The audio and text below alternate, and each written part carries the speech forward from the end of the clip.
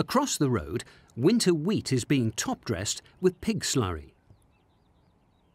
This is being carried out by the contracting arm of slurry handling equipment manufacturers and suppliers, Tramspread, using one of their own umbilical systems. The slurry from this pig unit at Wickham Skeith is held in a lagoon with a capacity of about 14,600 cubic metres. As the slurry has a tendency to settle, it's constantly mixed when it's being spread to ensure an even product is applied over the whole field.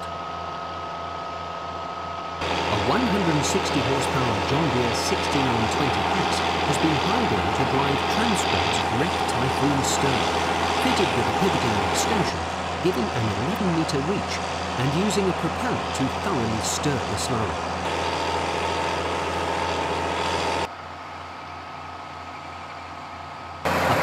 Centrifugal slurry, directly coupled to a 170 horsepower engine, pumps the slurry from the lagoon out to the field. It's being spread on a 27 hectare field of KWS Kielder wheat, which is just the other side of the yard, so there's no need for an additional pump. The main supply pipe is laid out across the middle of the field, 90 degrees to the tram lines. A 1982 112 horsepower Case 1694 is used to move the supply pipe across the field onto unspread land with a drag loop or cow horn, which allows it to be dragged without restricting the flow of slurry.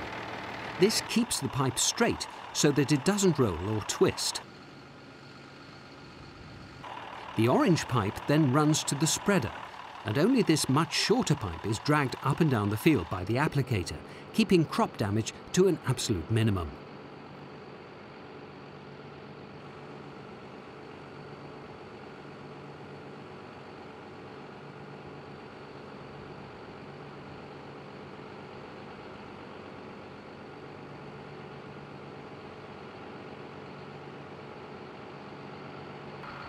A 130 horsepower John Deere 6630 is used on a Tramspread 24 metre dribble bar applicator.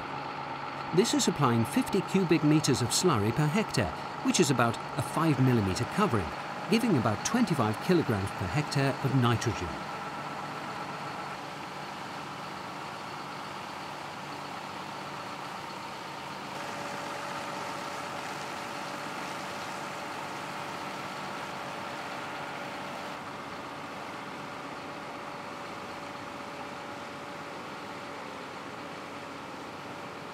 The supply hose is connected to a swinging arm to allow tight headland turns without the hose bending too sharply.